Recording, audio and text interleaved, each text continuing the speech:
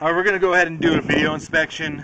I guess someone drove over one of the clean out caps, possibly in the line, and also just to check the condition and integrity of the line.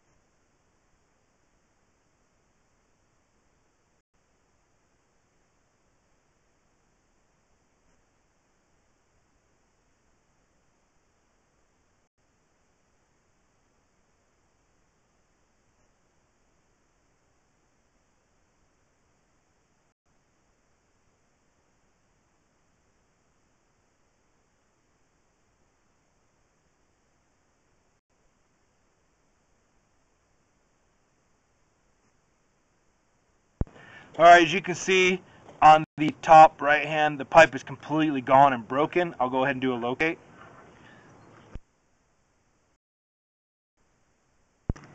Okay, now I'm going from the clean out in the driveway to the house just to check the condition.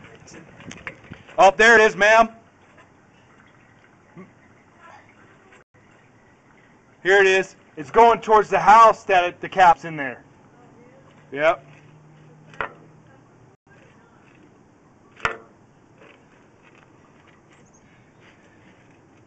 You're gonna have to probably you're probably gonna have to dig up the cleanouts to get it out.